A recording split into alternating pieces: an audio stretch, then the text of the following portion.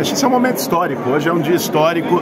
É, o presidente Lula, depois de todas as injustiças que foram cometidas contra ele, é, depois do que nós vivemos de 2016 para cá nesse país, depois de quatro anos do pior presidente da nossa história, a gente hoje é, ter o fim desse pesadelo formalizado e o Lula diplomado presidente do Brasil, eu acho que é um momento de que lava a alma, lava a alma do, do nosso povo. Então, foi um momento muito histórico. O Lula se emocionou não por acaso, acho que o Brasil se emocionou com esse momento. Olha, hoje, hoje foi um encerramento, né? Entrega dos relatórios finais.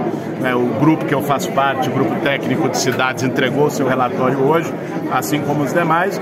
Eu acho que o que marca a transição é, lamentavelmente, a gente poder ver que aquilo que a gente achava que já estava ruim está pior. Desmonte do, do Estado, os temas orçamentários, eles deixaram um orçamento fictício para 2023, né, gastaram à toa para tentar ganhar uma eleição e deixaram para 23, coisa que você não consegue nem tocar as obras que estão em andamento em janeiro, fevereiro já acaba o orçamento do ano.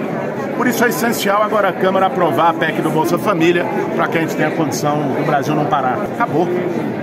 Acabou. O recado é esse. Né? Uma democracia se perde, se ganha. Eu sou torcedor do Corinthians. Eu é, lamentei muito que o Corinthians perdeu a final da Copa do Brasil com o Flamengo.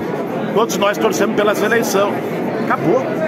Nós perdemos, saímos da Copa, o Corinthians não ganhou a Copa do Brasil e o Bolsonaro não ganha a eleição. Né?